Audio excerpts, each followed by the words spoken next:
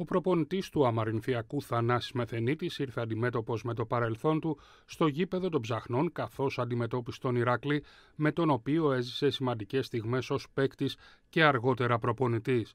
Το καταπληκτικό γκολ του Δήμου στο 14ο λεπτό μετά τη σέντρα του Μπαλαμπάνη και την κεφαλιά πάσα του να αποκτηθεί τύρπου έβαλε μπροστά την ομάδα της βάθια στο σκορ. Οι φιλοξενούμενοι προσπάθησαν να κλειδώσουν τη νίκη, αλλά η μπάλα από την εκτέλεση φάουλ του Μπαλαμπάνη στο 75 σταμάτησε στο δοκάρι, ενώ λίγο αργότερα σε μια παρόμοια φάση ο Μίχος αποσόβησε το 2-0.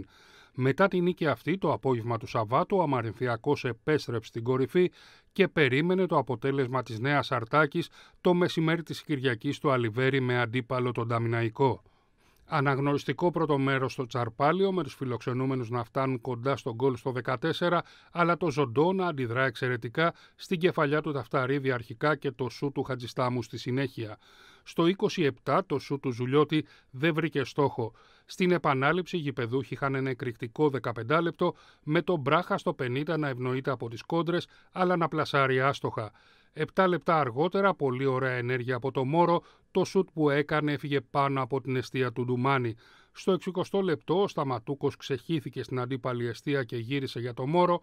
Ο Καρλατήρας στην τελευταία στιγμή αποσόβησε το γκολ. Δύο λεπτά αργότερα η κεφαλιά του Τρεπεκλή πέρασε εκτός εστίας.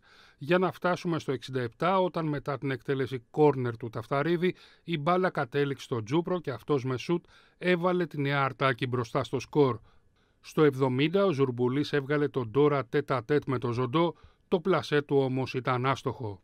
Ο Ντουμάνι στο 75 βγήκε έγκαιρα και απέτρεψε τον κίνδυνο που δημιούργησε ο Τρέπεκλής και δύο λεπτά αργότερα το δυνατό σου του Ντελέκου από το ημικύκλιο έφυγε ελάχιστα out. Στο 78 οι γηπεδούχοι έμειναν με 10 παίκτες για το μαρκάρισμα του Τσολάκου πάνω στο Ζουρμπουλί.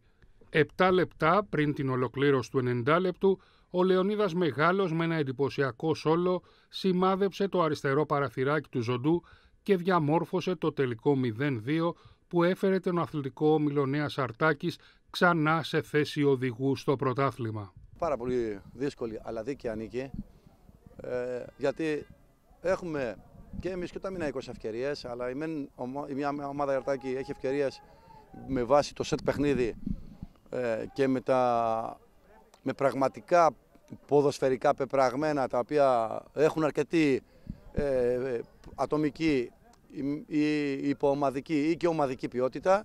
Και ο αντίπαλος έχει φτάσει πολύ κοντά στο να σκοράρει. Μέσα από, κάποια, από κάποιες κόντρες έχει γίνει. Μια κόντρα και έχει, μετά από διπλή καραμπόλα. Η μπάλα έχει φτάσει σε παίχτη και έχει βρεθεί απέναντι από το τέρμα μας.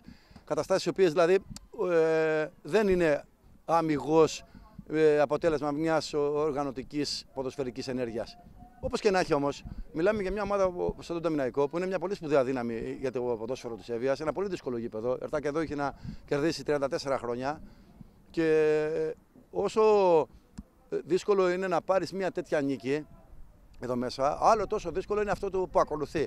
Για μένα έχει, όντως, όπως είπατε πριν ε, στην ερώτηση και μιλώντας προηγουμένως, έχει μεγαλύτερη αξία από κάποιες απλές νίκες. Γιατί ε, ουσιαστικά τη μεταγγίζει και άλλη θετική ενέργεια στην ψυχολογία μας αφαιρεί τον Ταμιναϊκό από την εξίσωση του πρωταθλητισμού και μας δίνει το δικαίωμα να έχουμε τη, τη, τη δυνατότητα να θεωρούμε ότι συνεχίζοντας την προσπάθεια μπορούμε να κερδίσουμε. Το πιστεύαμε και πριν, το πιστεύουμε ακόμα και τώρα. Τώρα το έχουμε κάνει πράξη σε κάθε γήπεδο. Είχαμε δουλέψει αρκετά αυτή τη βδομάδα πάνω στην τακτική ε, τη δικιά μας.